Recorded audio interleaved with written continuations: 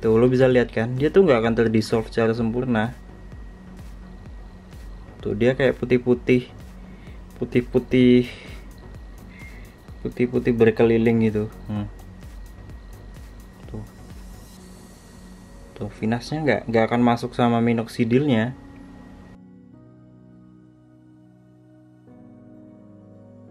Oke halo guys kembali lagi ke channel spesialis rambut So kali ini gue bakalan uh, ngejawab pertanyaan teman-teman yang ada di kalau nggak salah di kolom YouTube mengenai penggabungan finastrid dan minoxidil. Jadi yang dimaksud penggabungan finastrid dan minoxidil ini yaitu mencoba si finastrid ini sebagai topikal. Topikal tuh yang dioles gitu guys. Jadi kalau lu biasanya pakai finastrid itu kan di oral, maksudnya diminum sehari sekali. Nah ini mau digabungin ke minoxidil dengan cara di mix aja gitu sama minoxidil terus diaplikasikan ke kulit kepala lo. Nah, apakah itu oke? Okay? Ya, itu sangat sangat sangat oke okay sih guys. Oke okay banget. Itu juga udah banyak lah studi yang meneliti hal itu. Jadi, topical finasteride ini memiliki tingkat efektivitas menyerupai oral finasteride, finasteride yang diminum dengan side effect yang cenderung lebih kecil alias chance kes kemungkinan terjadi side effect itu lebih kecil. Tapi, tapi, tapi, tapi nih guys. Finasteride kalau digabung dengan minoxidil itu oke. Okay. Tapi kalian harus tahu dulu finasteride yang seperti apa yang digabungin sama minoxidil. Minoxidil cair ya, minoxidil liquid. Nah, kebanyakan tuh teman-teman pakai finasteride itu prostacom Nah, itu yang salah sih guys. Itu sangat tidak direkomendasikan buat dilakukan, menggabungkan finasteride prostacom dan minoxidil cair. Kenapa nggak direkomendasikan? Karena ini tuh finasteride yang udah diolah, finasteride tablet yang udah jadi. Oke, gue akan tunjukin kalian kenapa kalian tidak direkomendasikan buat gabungin finasteride prostacom yang udah jadi tablet seperti ini dengan minoxidil. Oke langsung aja ke videonya. Oke guys, jadi kali ini gue bakal nunjukin ke kalian kenapa kalian gak direkomendasikan buat gabungin Finastrid yang udah di tablet. Yang di sini tuh Prostacom sama Minoxidil. Nah, di sini lu bisa lihat ini ada Prostacom Finastrid, ini ada Minoxidil, ada botol kosong nanti buat kelihatan pencampurannya kayak gimana. Terus ini gue punya uh, pil cutter, sekarang pil virus. Oke, jadi kita langsung aja ya guys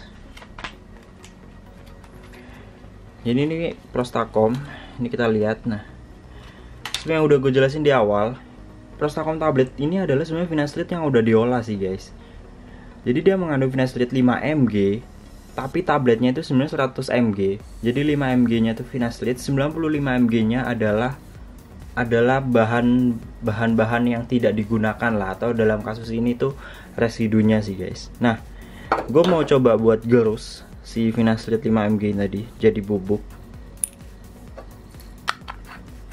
Meskipun sebenarnya kayak teman-teman tuh banyak yang yang tanya ya. Terutama itu beli di marketplace gitu yang prostacom yang udah digerus yang udah digerus terus dari yang udah digerus tuh dimasukin ke minoxidil.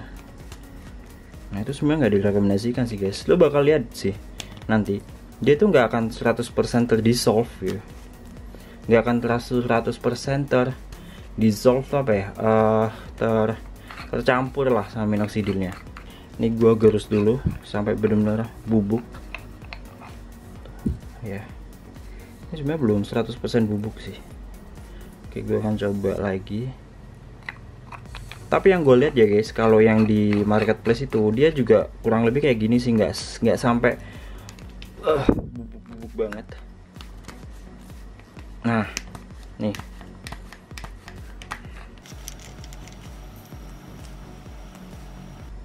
Nih ya. Ini gua gerus lagi deh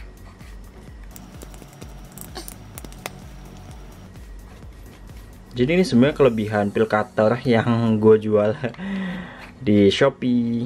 Di Shopee spesialis rambut. Lo bisa cek aja. Dia juga udah ada penggerusnya. Oke lah ya. Ya udah bubuk. Anggap aja udah gue bubuk. Terus kita lihat nih supaya kelihatan. Gue kasih ke botol transparan.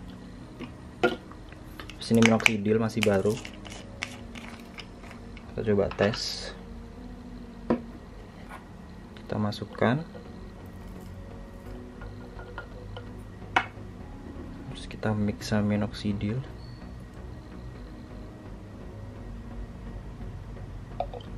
Tuh.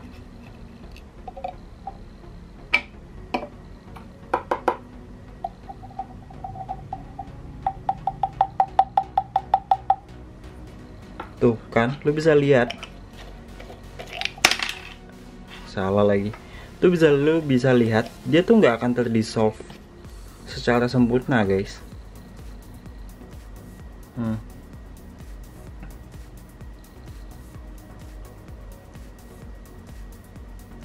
tuh lu bisa lihat kan dia tuh nggak akan terdissolve secara sempurna tuh dia kayak putih-putih putih-putih putih-putih berkeliling gitu hmm.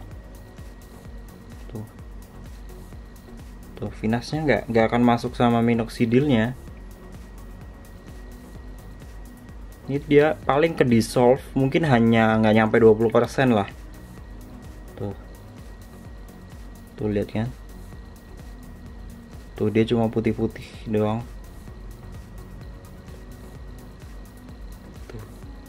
Nah udah dia nggak ke dissolve alias ke dissolve nya paling nggak sampai 20% ketika lo aplikasikan ke kulit kepala lo dia tuh nggak akan nggak akan penetrasi juga. Karena dia kalau minoxidilnya bakal ke dissolve ya dia bakal penetrasi ke kulit kepala. Cuman kalau yang finas-finasnya ini dia akan mentok nempel di kulit kepala doang. Mungkin akan penetrasi juga cuman sebagian kecil doang guys. Yang ada nih sisanya dia malah menyumbat pori-pori yang malah bikin bikin iritasi, bikin jerawatan, bikin gatal dan lain-lain. That's why gue sangat tidak merekomendasikan kalian buat gabungin Finasterid Prostacom dan Minoxidil ya guys. Nih. Tuh. Gue sangat-sangat tidak merekomendasikan kalian. Nah, solusinya gimana? Solusinya kalau kalian mau gabungin finasterid sama minoxidil, itu gabunginnya yang belum diolah.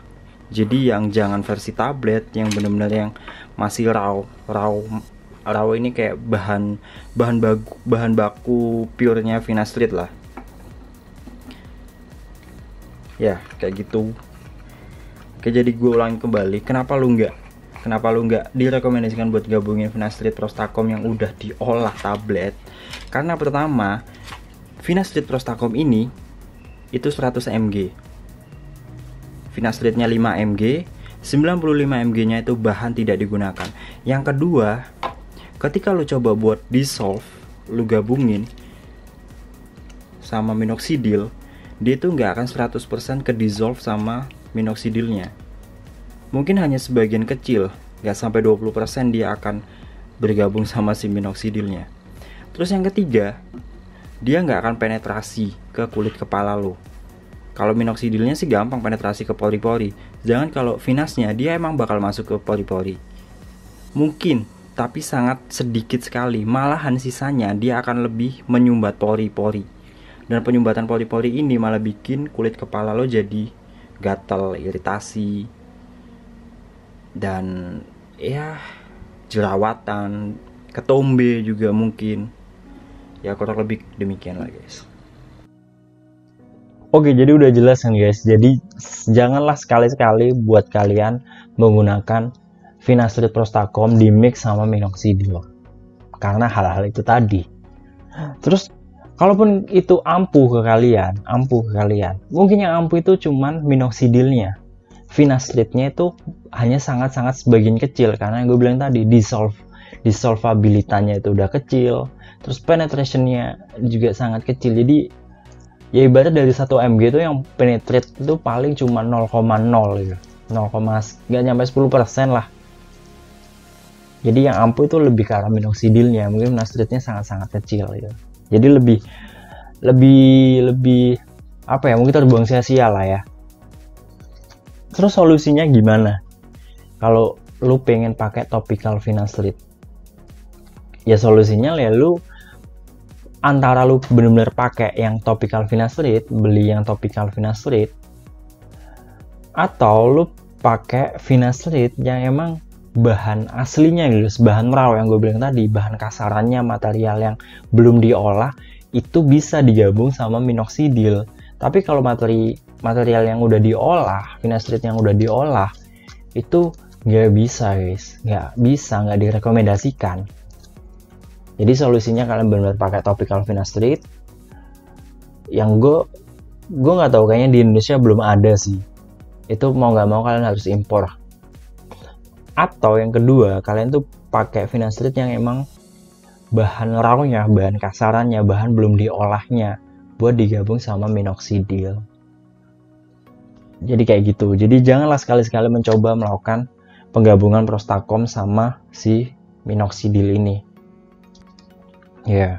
jadi gue gue sangat berharap kalian tuh ketika melakukan perawatan tuh jangan uh, pastiin kalian udah baca-baca referensi yang udah banyak kelas studi-studi. Jangan sekedar langsung coba aja gitu.